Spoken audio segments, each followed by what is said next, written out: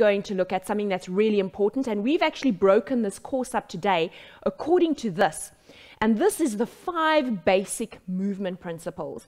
And the reason why we designed the course around these five basic movement principles is when we want to get an individual to exercise with the final goal being longevity, we want them to achieve really good movement of these five movement principles. Movement principles, yes. And obviously, the main goal is to achieve these principles without them having to. intensity that is put into that muscle is increased.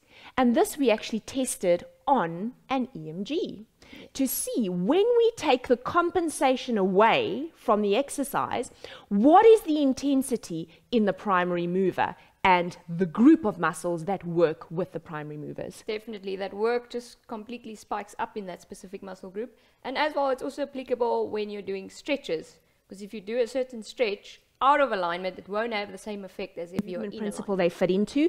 Maybe they fit into more than one. So Lemise and I've got Shelley, they are going to be our guinea pigs. We're going to call this one miscompensation. And this one is little miss into an anterior tilt because they're restricted at the front of the hip. So I'm going to ask her to slightly bend the knee, slightly tuck the pelvis, and keep that hip forward.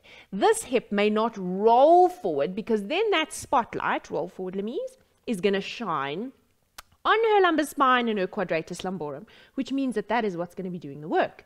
If they feel QL working, you're actually going to roll them back because now the spotlight is shining on obliques.